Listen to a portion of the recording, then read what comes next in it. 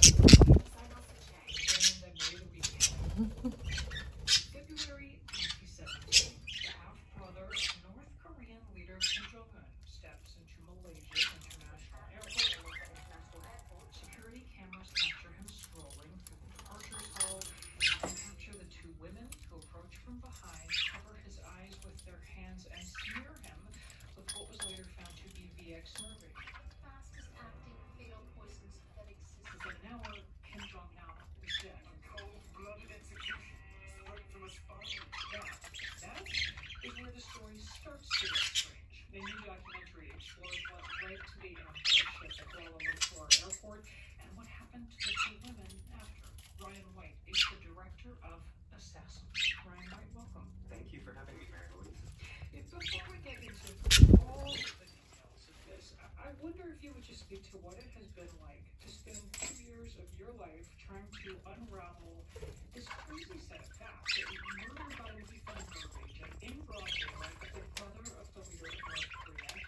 And it sounds like as you tell them that you were finding yourself getting more and more depressed. Yeah, it absolutely. The story began as inconceivable, and then it just got stranger and stranger as we continued to document it over the last two Kid, I'm busy eating. Easy easy. Oh, hello. Hello, Key. Hello.